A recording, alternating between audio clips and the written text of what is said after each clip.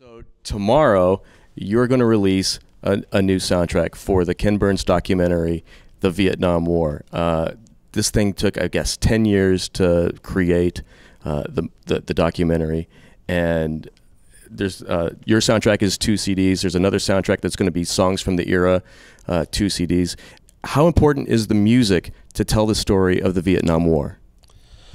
Hey, when we were approached by Ken Burns and Lynn Novick years ago, probably four years ago, I think, um, to say, would you, we would like you to score an 18 hour documentary on Vietnam.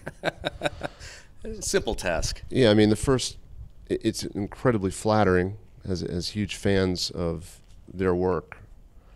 Um, I knew it would be an important work. I could imagine the care that was going to go into it and the need for that that uh, to be told.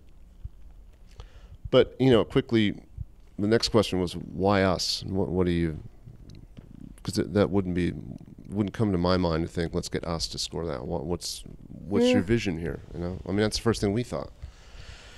And it was explained in a way that you know emotionally what he was trying to convey or what they were trying to convey um, we were the right fit they weren't looking for anything that sounded like it was from the 60s they wanted a modern take uh, there would be authentic uh, music from that era also peppered in it wasn't just 18 hours of our score Right.